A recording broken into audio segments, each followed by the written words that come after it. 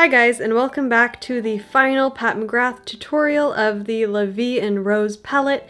This one is probably my favorite of the Mothership palettes and if you haven't seen my review of all three I will leave a link here and through the link you can also enter in the giveaway for your chance to win your favorite Mothership palette. The winner will be chosen on the 17th so if you want to enter get on over there. And also before we get into this tutorial I just wanted to give a big huge thank you to Pat McGrath for featuring some of my video content of her beautiful lipsticks, which I do also have a review and lip swatches of the Pat McGrath Luxe Trance and Matte Trance lipsticks, and I love them. I highly recommend you guys check them out. But for now, let's jump into the La Vie en Rose tutorial. So first I went in with the shade Pale Fire and I blended it all through the crease and up onto the brow bone.